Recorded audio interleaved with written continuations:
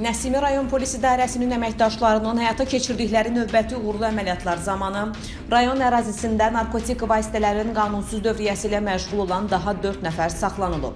Əməliyyat nəticəsində paytaxt sakinləri Rahim Abdullayev, Tamirlan Məmmədzadə, Cavanşir Dadaşov və Araz Hüseynov tutulublar. Onlardan ümumilikdə 2 kiloqrama yaxın heroin, metamfetamin və elektron tərəzilər aşkar edilib. Üstümdən e, külli miqdar narkotik aşkar olunub. E, Gerain və metamfetamin. Mən onu satmaq niyyəti ilə əldə etmişdim.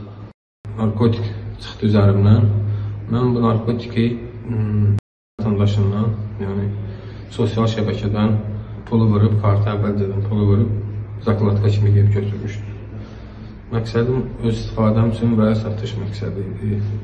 Yasamal rayon polis idarəsinin əməkdaşları tərəfindən də narkotik vasitələrin qanunsuz dövriyyəsinə qarşı əməliyyatlar həyata keçirilib. Narkotiklərlə mübarizə bölməsinin əməkdaşlarının daxil olmuş əməliyyat məlumatı əsasında keçirdikləri tədbir zamanı narkotiklərin satışı ilə məşğul olan Kənan Dadaşov və Həsən Həsənov saxlanılıblar. Kənan Dadaşovdan 2 kiloqram 525 qram heroin, 9 qram metamfetamin, Həsən Həsənovdan isə 195 qram heroin və 10 qram metamfetamin aşkar olunub.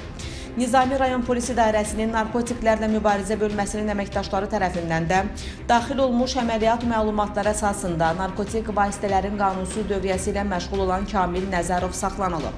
Onun üzərinə baxış keçirilən zaman 600 qram heroin və 120 qram metamfetamin aşkar edilib. Qeyd edək ki, adları sadalanan 7 nəfər qaçaqmalçılıq yolu ilə ölkəyə göndərilən küllü miqdarda narkotik vasitə və psixotrop maddələri qəbul edərək satışını təşkil etməyə çalışıblar.